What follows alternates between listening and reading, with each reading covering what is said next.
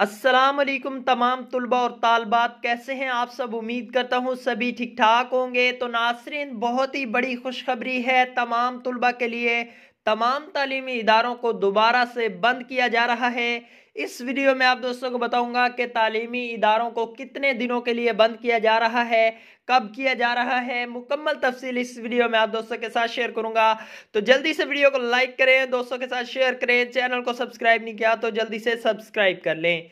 जी हाँ नाजरीन, वफाकी वज़ीर तलीम शफकत महमूद ने तमाम तलीमी इदारों को बंद करने के हवाले से सतारह जनवरी को इजलास तलब किया है, जिसमें पूरे पच्चीस दिनों के लिए तमाम तालीमी इदारों को बंद करने के हवाले से फैसला किया जाएगा। तजवीज़ पेश की गई है कि तमाम तालीमी इदारों को 25 दिनों के लिए बंद किया जा सकता है। तो नासरीन ये थी वीडियो। उम्मीद करता हूँ आपको वीडियो पसंद आई होगी। लाइक करें, शेयर करें, चैनल को सब्सक्राइब नहीं किया तो सब्सक्राइब कर लें।